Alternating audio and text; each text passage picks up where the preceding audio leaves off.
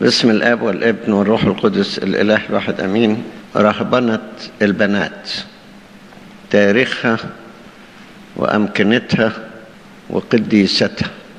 الرهبنة عموما وإن كانت ظهرت في القرن أواخر القرن الثالث وازدهرت في القرن الرابع والخامس لكن لها جذور قديمة. فالرهبنة كحياة وحدة وسكن الجبال وكحياة بتولية وكحياة صلاة وتأمل كل هذه المبادئ كانت موجودة قبل الأنبا أنطونيوس وكان لها جذور أيضا في العهد القديم. كما وجد في حياة إيليا النبي وتوحده على جبل الكرمل وكذلك مدرسة الأنبياء وظهورها خصوصا في أيام إليشع وما بعده. وحياة الصلاة في الجبال كانت موجودة أيضا وحياة البتولية كانت موجودة أيضا. نجد هذا كذلك في حياة يوحنا المعمدان وفي حياة حنا النبية التي عاشت 84 سنة في حياة العبادة والتأمل والتوحد. إذا مقومات الرهبنة كانت موجودة لكن كل هذه الأشياء لكي تجتمع معا ولكي تأخذ شكلها المتكامل كانت في أيام القديس الأنبا أنطونيوس وقبله في حياة الأنبا بولا ورهبنة البنات كانت موجودة في بيوت العذارة ولذلك القديس الأنبا أنطونيوس أرسل أخته إلى إحدى بيوت العذارة. وهؤلاء العذارة كانت موجودة حياتهم وأنظمتهم منذ أيام الرسل ومكتوب عن ذلك رسالة بولس الرسول الأولى إلى تيموثاوس كان في بيوت للعذارى وكنا يتعبدن هناك. بقي بعد هذا أين توجد هذه البيوت؟ ما كانتش حياة الراهبات أو العذارى في الجبال أو في البرية خوفا عليهن من الاعتداء على عذراويتهن من الأشرار أو من البدو أو من البربر إلى آخره كانت بيوت العذارى قريبة من المدن فهل كانت هناك بيوت أخرى قريبة من أديرة الأديرة العامرة للرهبان؟ وهنا نبحث أيضا مثال الدير الذي أتته الراهبة التي سميت بالهبيلة أو التي تظاهرت بالجهل والهبل وكيف أن القديس الأنبا دانيال قم الشهيد كان يفتقد هذا الدير ويزور الراهبات اللي فيه وياخذ اعترافاتهم. دي كلها كانت موجودة برضو. ما فيش شك ما كانتش في المدينة. نوع أيضا من رهبنة البنات الراهبات اللائي أتينا في زي الرجال وترهبن على إنهن رجال مش نساء وعاشوا في أديرة الرجال. من أمثلة هذا الراهبة مارينا التي اتهمت كرجل إنها أخطأت مع بنت وهي كانت بنت إلى آخره. أو راهبات كنا يعشن في الجبل تحت رعاية أب روحي. على اعتبار إنهن رجال أيضا مثل القديس أناسيمون. فاللي كان في الوقت ده بي بيخلي الشيء ده مقبول إن بعض الخصيان كانوا يترهبون. وطبعا ما كانتش لا ليهم لا لحية ولا حاجة.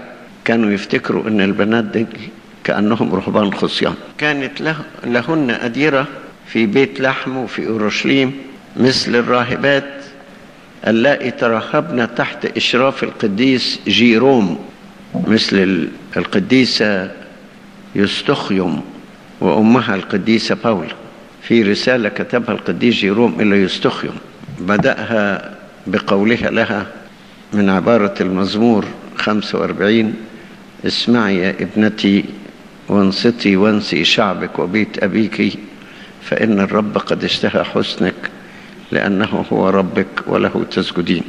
من الراهبات أيضا المشهورات القديسة سارة والقديسة سفرنيكي برضو كل الحاجات دي عايزين نجمعهم ويا ريت يتعمل فيه بحث عن رهبنة الراهبات وبيوت العذارة ولو استطاع دير من أديرة الراهبات أنه يقوم بالوضع ده يبقى كويس.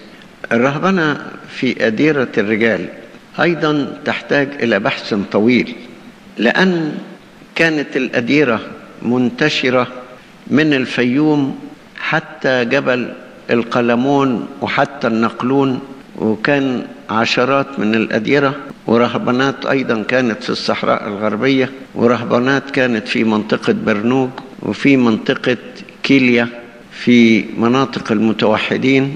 وأديرة أخرى انتشرت من أديرة القديس الأنبا بخوميوس في إسنا وامتدت جنوبا في أخص الصعيد. الفيوم كان يوجد فيها عدد كبير من الأديرة في أيام القديس الأنبا أنطونيوس الكبير. كتب رسالته رقم عشرين للقديس الأنبا ببنودة رئيس أديرة الفيوم. كام دير من أديرة الفيوم موجود هناك؟ إحنا بدأنا نعترف بالبعض لكن هناك أديرة اعترفنا بدير الملاك على ما أظن وفي دير هناك اسمه دير الأمير تدرس وفي أديرة تانية ماشية على طول. في أديرة في نواحي إبارشية بني سويف زي دير سدمنت مثلا.